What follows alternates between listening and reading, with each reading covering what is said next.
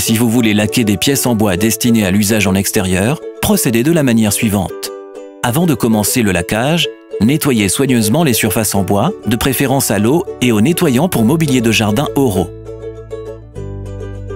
Ensuite, poncez le meuble en couches régulières, soit au papier de verre en grain 220, soit avec une meuleuse excentrique.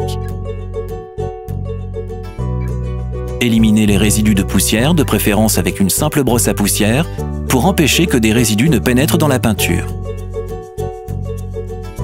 Avant d'appliquer la sous-couche pour lac aqua sans solvant, remuez-la bien, puis apprêtez l'intégralité de la surface par simple projection. Dès que la couche est sèche, vous pouvez passer à l'étape suivante, l'application de la peinture. Le procédé reste le même. D'abord, remuez bien la laque aqua, puis appliquez-la par projection en couches régulières. Une fois que cette nouvelle couche est également bien sèche, passez la surface au papier de verre de grain 240. Ensuite, la deuxième couche de peinture peut être appliquée.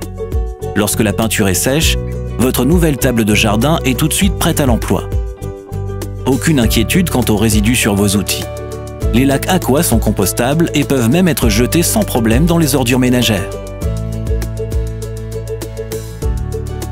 Vous trouverez les produits Aqua ainsi que vos revendeurs les plus proches sur notre site web www.euro.com. Habiter et vivre plus sain et plus beau avec Euro.